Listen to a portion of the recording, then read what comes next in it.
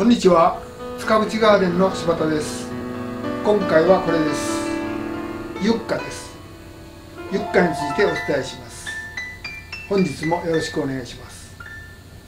ユッカの原産地は北アメリカ大陸から中央アメリカです。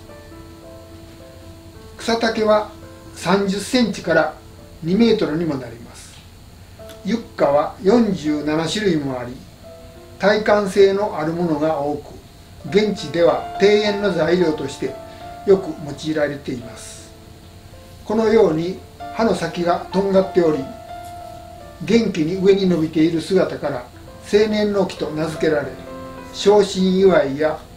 開店祝いなどお祝いの贈り物として人気があります。またユッカは風水でも邪気を払い気運を上げる植物とされており玄関などに置くと良いとされています。置き場所ですがユッカは暑さには強く耐寒性も普通にありますので育てやすく室内のほか温暖な地域でしたら庭植えで冬を越すこともできますが基本的には冬は室内の方が無難です。できるだけ日の当たる場所が適していますがよく見かけるユッカはエレファンティペスという種類で日陰でも育ちます。それでも室内に置く場合は窓際などできるだけ日のよく当たる場所に置きます。ユッカのご相談で多いのがユッカのこの葉が垂れるということですがその原因の一つに日照不足があります。ユッカをこのように元気に上に向かってピンと伸びた葉を保つにはとにかく火に当ててやることです。水やりですがユッカはこのように多肉質です。そのため保水力があり乾燥にも強いのです。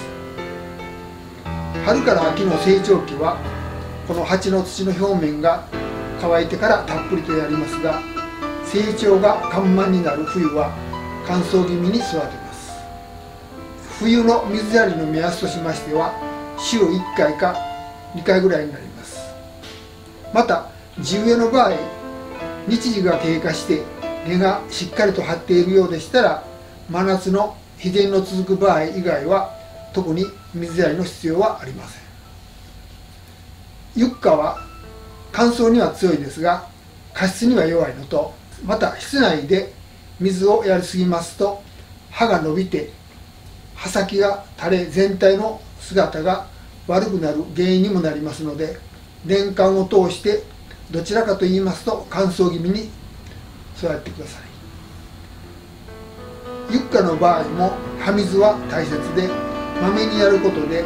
肌の予防にもなりますのでぜひやってください。葉水はこのような霧吹きで時々やってやってください。次に肥料ですが春から秋の生育期には2ヶ月に1回ぐらいやりますがゆっくり効いて肥料傷みの少ない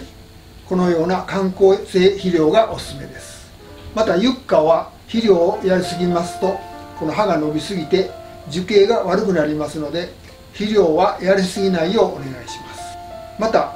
成長の止まる冬は肥料はいりません。植え替えですが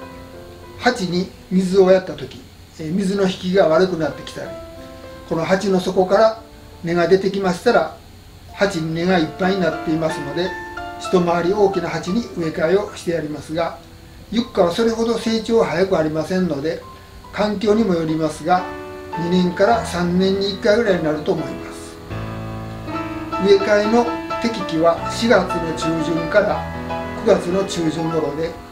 暑さで気の弱る真夏は植え替えはできません。植え替えの用土は水はけの良い土でしたら市販の観葉植物用の土でも使えますが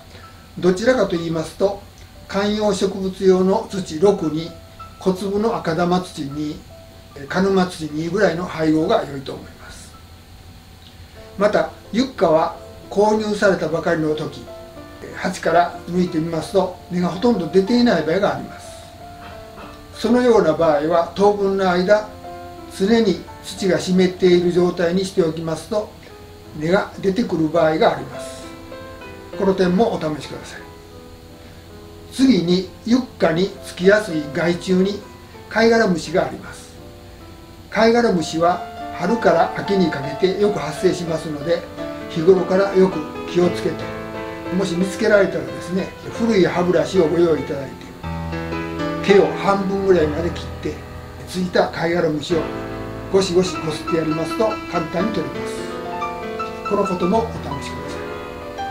い。以上今回はユッカ青年の木についてお伝えしましたが簡単にポイントだけまとめますと1番ユッカはできるだけ日当たりで育てる。2番水をやりすぎない。3番成長期には2ヶ月に1回ぐらい観光性の化成費用をやるがやりすぎない、えー、以上の3点です。以上です。最後までご覧いただきありがとうございました。